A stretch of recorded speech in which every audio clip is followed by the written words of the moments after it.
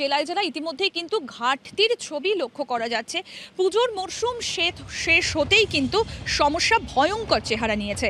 সেই সংকট কাটানোর লক্ষ্যে এবার রক্তদান শিবিরের আয়োজন করা হলো রায়গঞ্জ কেবল টিভি প্রাইভেট লিমিটেডের পক্ষ থেকে।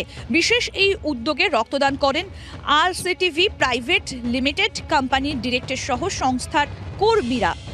আগামী দিনে এ ধরনের উদ্যোগ সমাজের সব শ্রেণির মানুষকে স্বেচ্ছায় রক্তদানে আগ্রহী করবে বলে আশাবাদী আয়োজকরা। শিবির থেকে সংগৃহীত রক্ত রায়গঞ্জ গভর্নমেন্ট মেডিকেল কলেজ হাসপাতালের ব্লাড ব্যাংকে পাঠিয়ে দেওয়া হয়। সদ্য পুজোর মরশুম পার হলো, সেই জন্য আমাদের রায়গঞ্জ মেডিকেল কলেজে রক্তের সংকট রয়েছে। সেই জন্য ব্লাড ব্যাংকের সঙ্গে সহযোগিতায় আমরা আজকে একটা রক্তদান শিবির আয়োজন করেছি।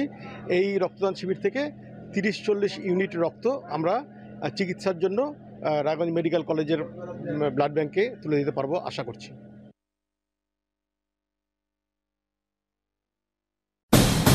এখন নিউজ দেখুন আপনার সময় মতো।